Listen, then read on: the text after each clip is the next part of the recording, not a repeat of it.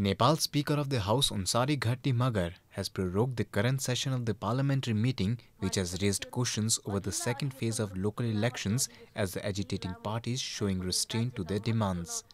The current session of the parliament which went on for 381 days came to an end recently. The discussion on the final day was supposed to be on the newly tabled amended proposal by the government. With the discontinuing of the parliament session, Questions over the second phase of elections is on the rise, as the agitating parties have remained consistent with their demands of constitution amendment as a condition for their participation in the polls. The second phase of the poll is scheduled for 14th of June.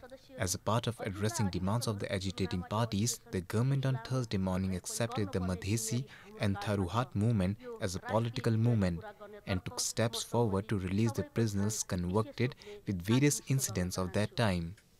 The low-lying areas where the second phase of elections is scheduled to be held is expecting a voter turnout of about 9 million. Meanwhile, the electoral body of Nepal, that is the Nepal Election Commission, is set to start the preparations for the elections from next week.